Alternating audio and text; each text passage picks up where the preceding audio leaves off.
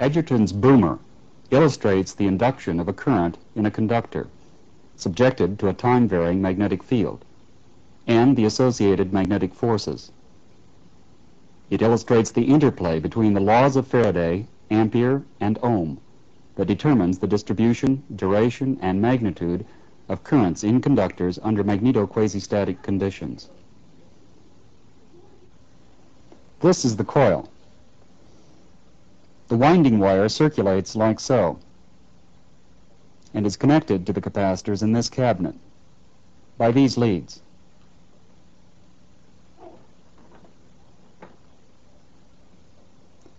When the high voltage power supply in the cabinet is turned on,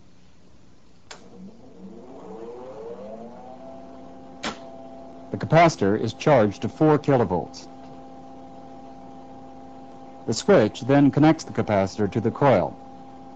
It's closed when this button is pushed.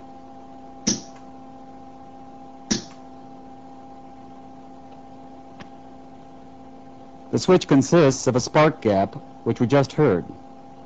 We can see it if we open this panel.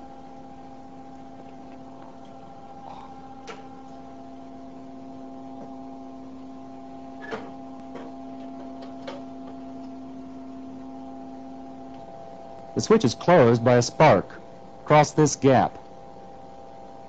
That spark is activated by applying a voltage to this electrode to make a smaller electrical breakdown in the gap.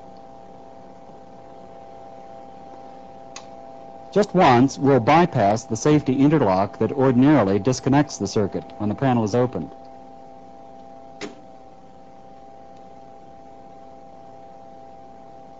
Then, when we push the button, we can not only hear the spark discharge that closes the switch, but see the associated flash as well. Maybe we can do it once more.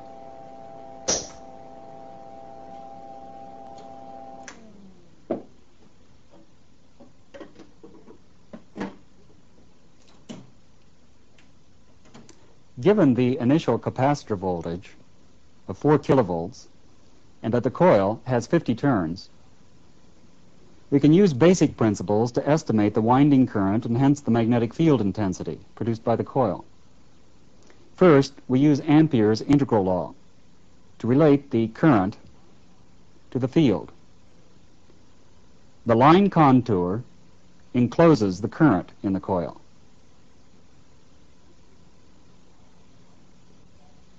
Before we go on, let's see how well we've approximated the current and field. This current probe will link one of the wires connected to the coil.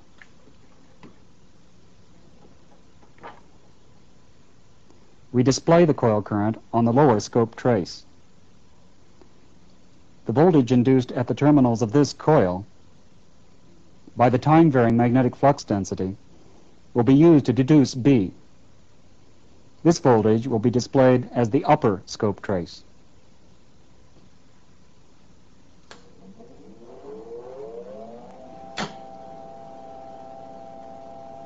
Here are the responses to the discharge of the capacitor. The time axis is two-tenths of a millisecond per division.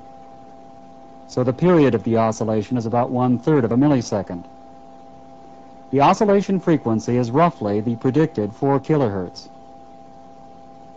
The duration of the lower trace current, and hence of the field, is on the order of 1 millisecond. The peak in the current on the lower trace is about 1 division. There are 1,000 amps per division, so the peak current is about 1,000 amps. This is in the range of the estimated value of 1600 amps. Remember, we've not accounted for losses in the spark gap in the coil. The disk could represent a hand. In that case, the experiment can literally give a feel for the consequence of subjecting a conductor to a time-varying magnetic field. If the disk represents a hand, what current density would be felt?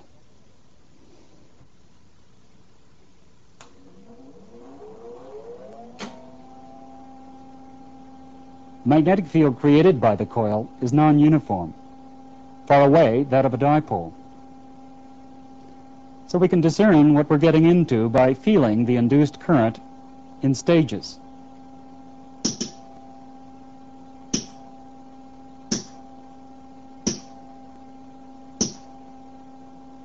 The sensation is of a short duration twinge, much as would be expected for a pulse that lasts one millisecond. Uh, I've been given to understand that Professor Zahn is not going to try it with his hand lower than this. So that you can see evidence of the field that you can't feel firsthand. Let's replace his hand by this wire loop. The wire is open at this point, with the ends barely touching. So the field induced around the contour is concentrated at the gap. We go to a higher f-stop to protect the camera.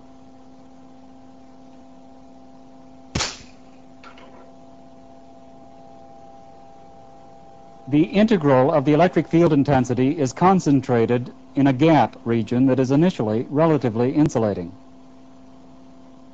So the electric field intensity between the almost touching wires is enough to produce a spark.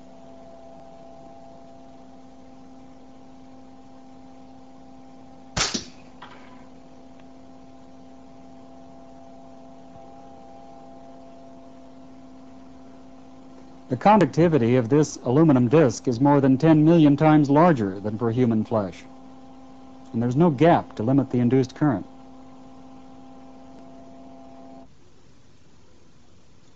The force can be used to shape metals.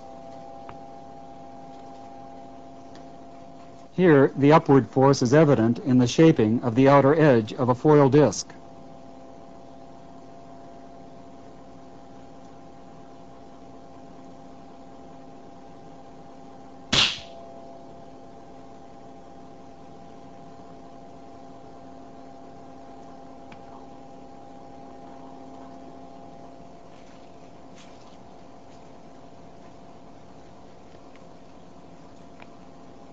For this experiment, we used three times as much capacitance.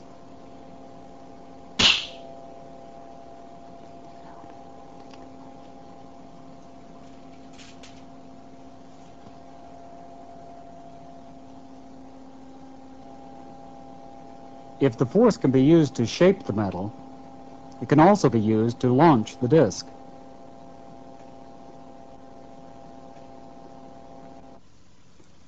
I'm Melcher, and as you know, that's Zahn. We've brought along an illuminary here to push that button finally. This is Professor Doc Edgerton, and uh, it's his machine. What we've done, of course, is to show you this disc. And now, if, uh, Doc, you turn on your machine. Ready? Here we go. I'm going to step out of this. I'll turn on the main power. Let it come up to charge. To do it again? Do you have a favorite one there? Well, the everyone's a little different. Let's try this one. What do you say? Power. A little different ring to it. A little different ring. Now, as I understand it, this thing's got uh, more capacitors in it. Maybe we get Zahn to uh, put a little more in yeah, there? you like to have a little Yeah, now, Sure. one of the reasons I brought this man along is that, uh, in fact, he mainly paid for this building. So you see, we don't care too much if we hurt that ceiling. Be nice to have an imprint up there, wouldn't it? Right. With you here, I can say that. Okay, let's see what happens this time. Well, you got three capacitors on instead of one. You should go a little higher. One, two, three, go. Missed me. Want to try our favorite? yeah, let's try that one. hey, knocked a hole in the ceiling. well, I can see you enjoy that, huh? All right. Thank Yeah. you very much, sir.